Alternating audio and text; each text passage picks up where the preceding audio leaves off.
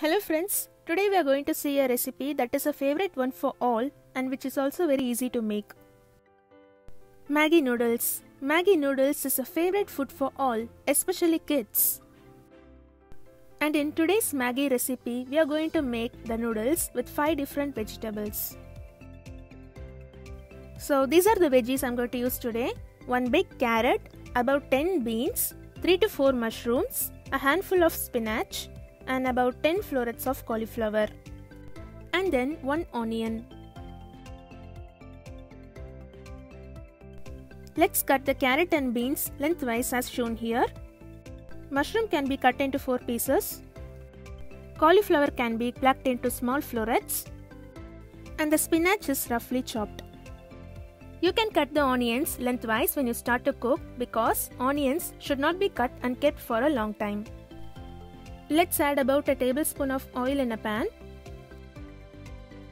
Let the oil gets heated up. Spread the oil evenly across the pan. Once the oil is heated, add the onions.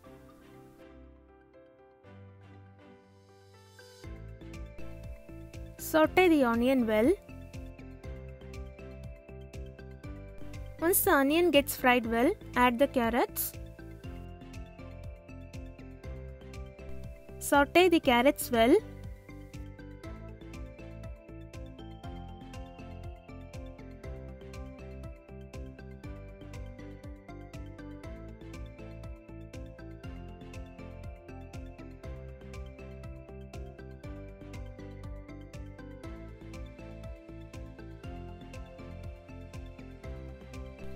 Once the carrots got fried roughly, add the beans. While you chop the beans, slit the beans into two and then cut it lengthwise. Saute everything well.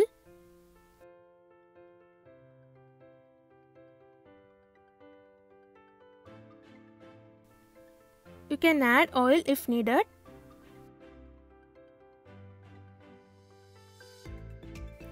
Next, add the cauliflower florets. Saute well. When it's considerably fried, add the mushrooms.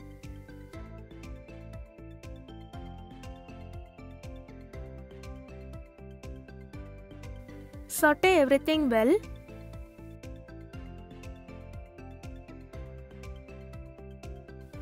Now add half a teaspoon of salt and a little bit of turmeric powder.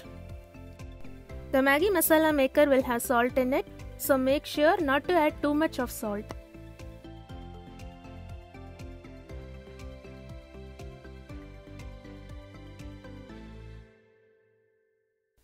Once everything got fried well, add spinach at the end. After stirring everything well, we are going to add water. Today I am going to use 3 packets of Maggi. 3 packets of Maggi will need 4.5 cups of water, half cup for veggies, so I am adding 5 cups of water.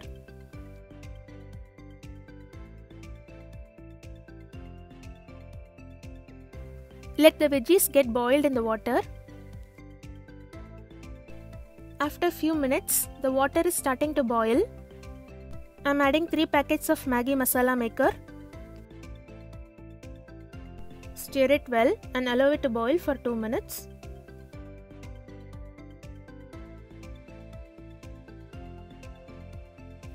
Now I am adding the noodles cake. In about 3 to 4 minutes the Maggi will be ready.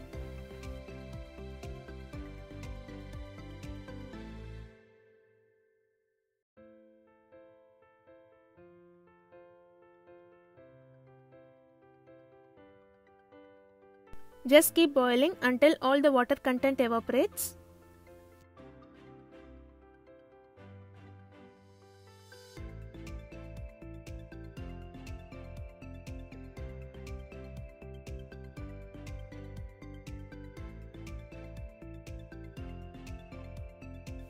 So the water is evaporating and the smell is so good.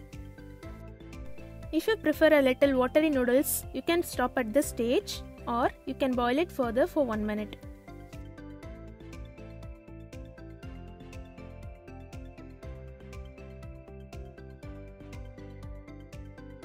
So a very yummy and delicious Maggi noodles is ready to be served. If you haven't tried this way of recipe with your Maggi noodles, please try it. I'm sure you'll like it. If you like our videos, please subscribe to our channel and share it with your friends too. Thank you so much.